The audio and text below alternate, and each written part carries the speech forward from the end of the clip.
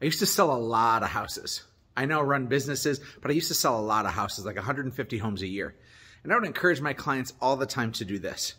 I tell them, listen, if you can pay an extra month's payment every year on your mortgage, let's say your mortgage payment is 2000 bucks, you're going to pay $24,000 throughout the year. But if you can make one extra mortgage payment, a $26,000 total, it's actually going to eliminate like six or seven years off your payments.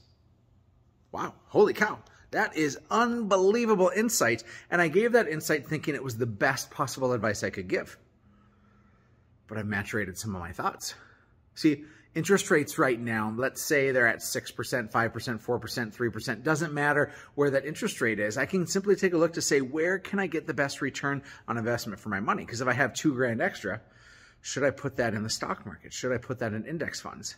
Should I put that uh, in, in the hands of somebody else that'll give me a higher return on my investment than just that interest rate?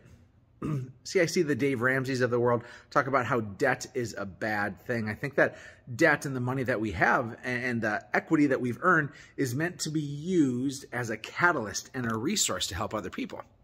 Now, if you choose to pay that extra two grand a month down, you are ahead of the game.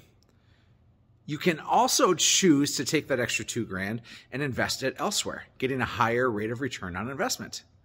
That may pay you better in the long run. I'm not a financial expert. I'm not here to give you financial advice of saying this is where you should put your money, but I'm challenging you to dive in deeper to figure out what is that best plan for you.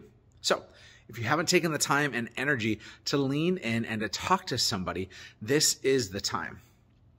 Sitting on the money and just doing the regular, regular old payments, it's not going to get you to where you want to get to fast enough.